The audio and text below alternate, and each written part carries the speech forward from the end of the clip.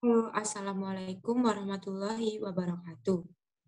We are from Group with Reliability and Validity of Instrument on Quantitative Research.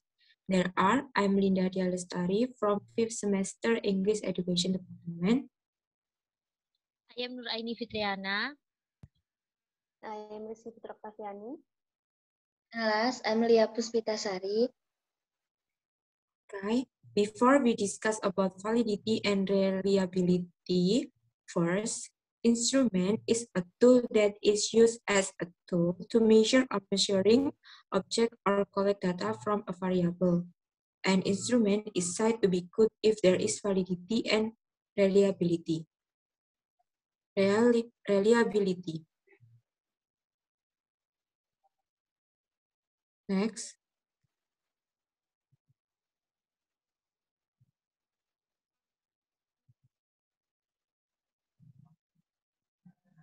Reliability is an ability that is used to measure the instrument to give the same result when applied at different times.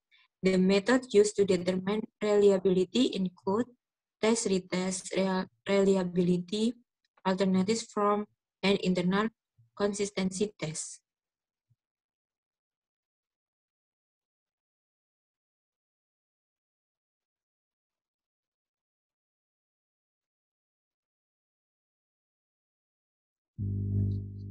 And then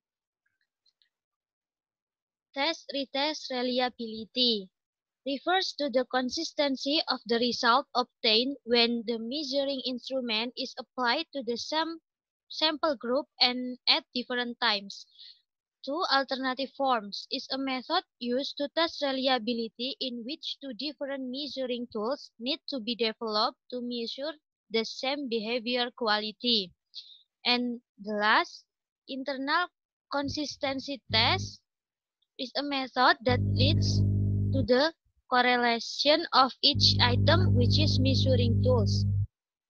Jadi, jenis-jenis dari metode yang menentukan reliability yaitu tes ulang reliabilitas. Ini berhubungan dengan hasil yang konsisten yang diperoleh saat alat ukur digunakan pada kelompok sampel yang sama dan waktu yang berbeda.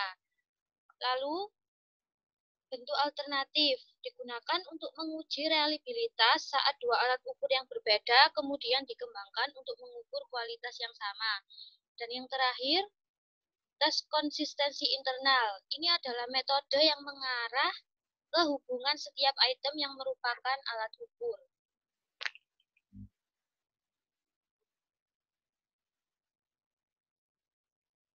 To validity.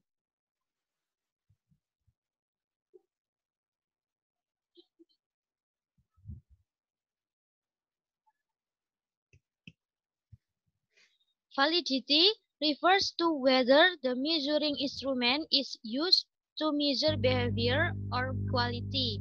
Validity is defined as the extent to which a concept is measured actually in quantitative research. Validitas merupakan sejauh mana suatu konsep diukur secara akurat dalam penelitian kuantitatif. Dalam penelitian ini, uji validitas perlu dilakukan untuk menunjukkan sejauh mana alat ukur yang digunakan dalam mengukur penelitian. Validitas juga penting agar data yang diperoleh bisa relevan atau sesuai. Next, akan dijelaskan oleh Puput. Thank you, Nur Aini Fitriana. In determining the validity of the measuring instrument, various types of validity are used for different purposes, including six types, namely content validity, construct validity, convergent validity, discriminant validity, phase validity, and criterion validity. And I will explain about content validity, construct validity, and convergent validity. First, content validity. Content validity is validity as a qualitative form of validity that evaluates whether the expression contained in the measuring instrument represent the phenomenon being measured. Two, construct validity. Construct validity is the validity related to the extent to which the instrument measure the concept, behavior, idea, or quality. Construct validity is based, based on the logical relationship between variables. And the next, convergent validity. State that the expression associated with the variables are related to each other, and the vector they create, and this means that the measuring instrument designed to measure a particular construct measure the construct in question correctly. And the next will be explained to the Lia Puspitasari. Time is yours.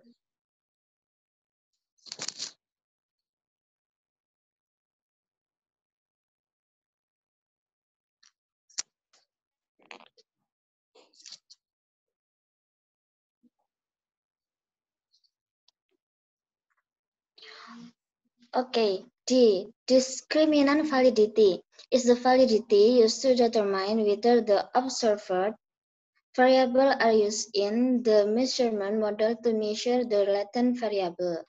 Validitas diskriminan berhubungan dengan prinsip bahwa pengukuran konstruk yang berbeda seharusnya tidak berkorelasi tinggi. Validitas ini terjadi jika dua instrumen yang berbeda mengukur dua konstruk yang diprediksi tidak berkorelasi menghasilkan skor yang memang tidak dapat berkorelasi. E. Fast validity is a subjective discussion based on the research feeling, talks, and intuition about the functioning of the measuring instrument.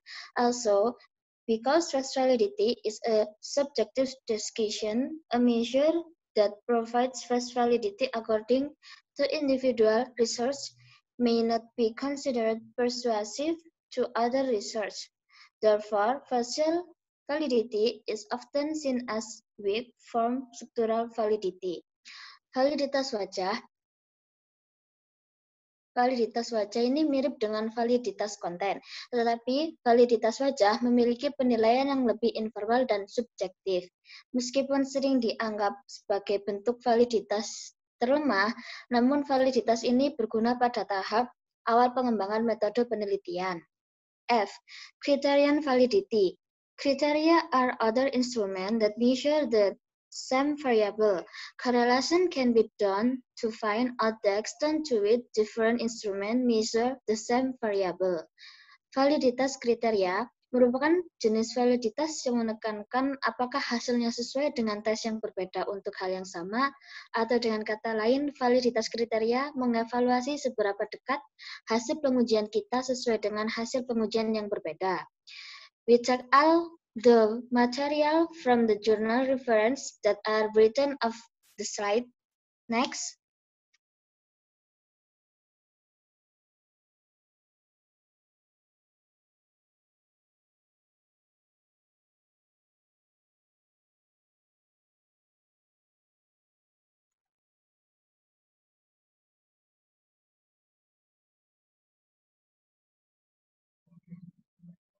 Yaitu teman-teman beberapa contoh preferensi materi yang dapat kami ambil dari jurnal yang terdapat pada slide tersebut.